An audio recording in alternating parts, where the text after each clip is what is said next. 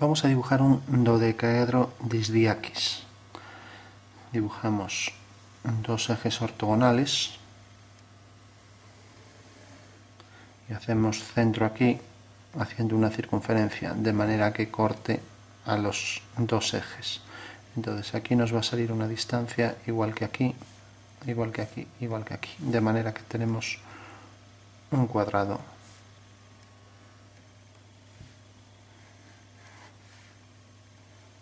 como está en esta disposición, podemos decir que es un rombo. Bueno, una vez que tenemos este cuadrado, hacemos las bisectrices de ambos ejes, obteniendo este par de líneas que pasan también por el centro. Por este punto cogemos un ángulo, hacemos un ángulo, medimos con el transportador de 9,4 grados, más o menos por aquí. Esta recta corta en este punto que proyectamos aquí. Entonces, esta misma distancia la pasamos a los cuatro ejes, a los dos ejes. De manera que ahora unimos este punto, este, este y este con esos puntos obteniendo estas caras.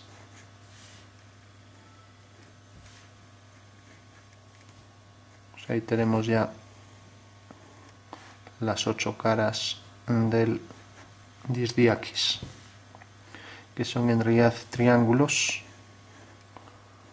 que tienen los lados todos distintos, triángulos escalenos. Bueno, tenemos también este triángulo, este, todos los que rodean a esos ocho triángulos. Bueno, por último, hicimos esto para tener ahí las dos caras laterales. Hacemos eso también en cada uno de los extremos. O sea, cogemos esta medida, la colocamos aquí, la colocamos aquí y la colocamos aquí. Nos acercamos un poco. Entonces, unimos esos puntos y tenemos ya el disdiaquis, el dodecaedro disdiaquis, que es un poliedro de Catalán que goza de las mismas propiedades que cualquier otro poliedro. Y es que cogiendo los puntos medios de cada cara nos sale el otro, el cubo octaedro rombitruncado. Bueno, decíamos que estos triángulos eran escalenos y pues si quisiéramos hacerlo mediante abatimientos, cualquier triángulo de estos, si cogemos por ejemplo, vamos a coger esta medida en verdadera forma, que aquí no lo está, pues tendría por ejemplo 1,62 si queremos centímetros, Luego tenemos otra y otra que forman, que son de 1,33 y otra de 1 centímetro. Bueno, esos son los tres lados del triángulo escaleno que podríamos dibujar. Con aproximación, esto es un cuadrado, aproximación, porque el dibujo da márgenes de error mayores que los que estamos haciendo aquí como coger aquí 9,4, la aproximación también 9,4 grados sexagesimales. Bueno, una vez que tenemos esto, simplemente vamos a darle sombras.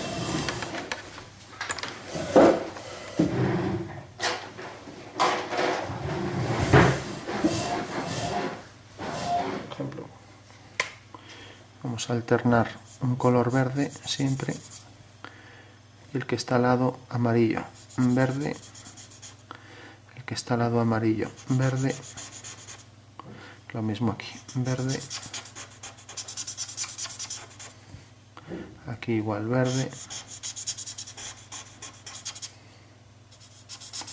siempre dejando uno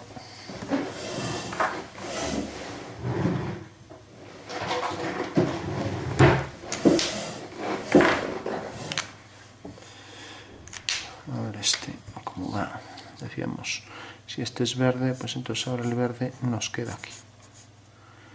Ahora el verde queda aquí abajo.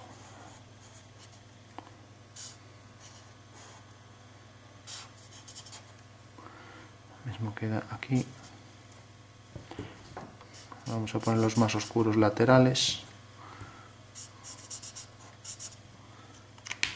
Y los que están más por aquí con luz, pues con este, con este verde. De esta manera es como si estuviéramos haciendo una especie de damero, donde siempre alternamos el verde con el amarillo que cogemos ahora. Cogemos aquí el amarillo, amarillo, amarillo, amarillo.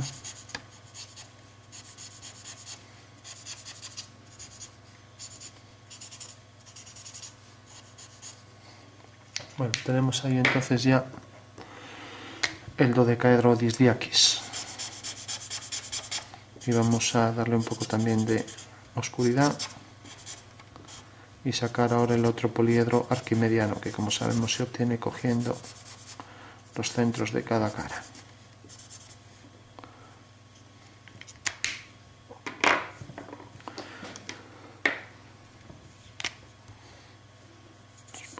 Un poco esta zona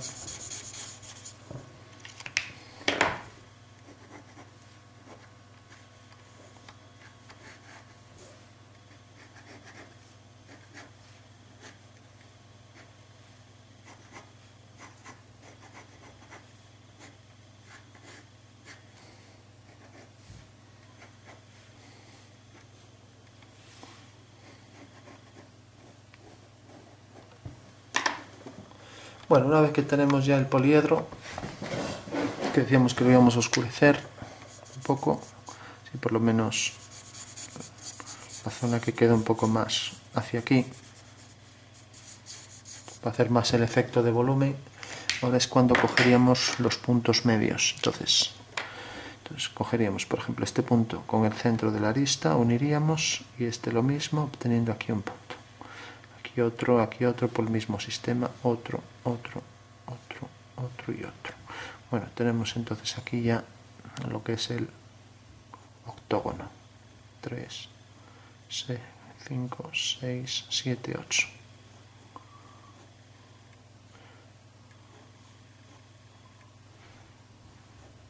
Bueno, como sabíamos, una vez que tenemos ya el octógono, para construir para construir el cubo octaedro rombitruncado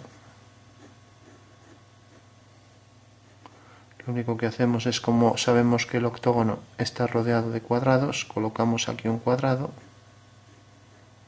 y colocamos también aquí un hexágono porque sabemos que está rodeado también de hexágonos alternando hexágonos y cuadrados. Entonces el cuadrado en el momento en que lo giremos va a seguir este punto esta misma dirección, mientras que el hexágono al girarlo, este punto va a caer en el eje de giro, este, por tanto va a llegar hasta aquí, eso quiere decir que el cuadrado pues va a ser exactamente esta figura. Mientras que este punto viene a parar aquí, por tanto esta pues va a ser la simétrica de esta. O lo que es lo mismo, esto va a ser la continuación de esta manera y aquí lo mismo respecto a este eje tendremos la simétrica de este lado. Bueno pues esta figura haciendo lo mismo por todos los lados tenemos entonces ya el cubo octaedro rombitruncado que sería esto así esto y esto que está siempre un cuadrado y alrededor del cuadrado tenemos el octógono y los hexágonos según esta vista bueno, planta y alzado serían iguales según esta posición. Que sería esto, así.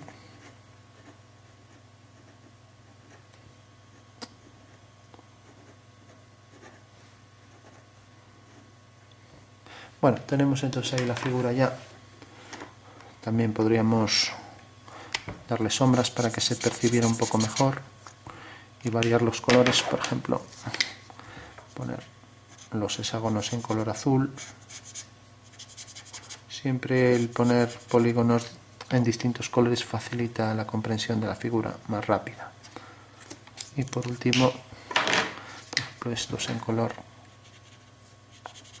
rosa bueno, planta y alzado serían iguales, eso quiere decir que la planta y alzado de esta figura también son exactamente iguales. O sea, esto visto desde arriba y visto frontalmente tienen la misma vista, por tanto, esto se va a colocar aquí adentro y también va a tener la misma vista en planta y alzado. Bueno, seguimos entonces, cogíamos aquí los puntos, tendríamos que unir este con este y este con este y tenemos ahí otro punto. Bueno, mm, el hecho de que nos quede un poco alargado quiere decir que bueno, que en realidad esto debería quedar un poco más hacia aquí. Luego tenemos aquí el centro, el centro y aquí el centro. Tenemos ya el hexágono ahí. Esto recto hasta el centro. Lo mismo, tenemos aquí el hexágono Digamos que íbamos uniendo los puntos. Podemos coger aquí este cuadrado también, aquí este. Y ahora tenemos aquí pues el hexágono otra vez. Y aquí lo mismo el cuadrado. Y aquí otra vez el hexágono. Con lo cual tenemos ya ahí centrada la figura. Entonces vamos a coger los cuadrados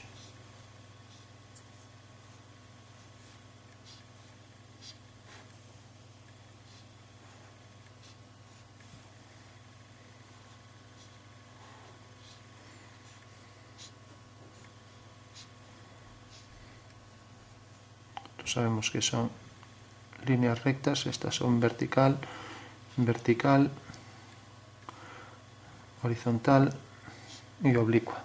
Bueno, ahí tenemos entonces la figura ya perfectamente integrada, de manera que los vértices caen siempre en los centros de las caras, como decíamos. Hemos partido del dodecaedro disdiaquis para obtener este poliedro arquimediano, cuya explicación dimos aquí para hacerla mediante abatimiento. Esto el contorno sería un cuadrado, obviamente.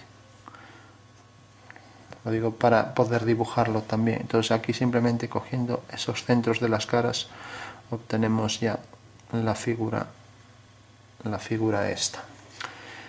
El cuboctaedro rombitruncado, que es un poliedro arquimediano y que se puede inscribir dentro del dodecaedro disdiaquis.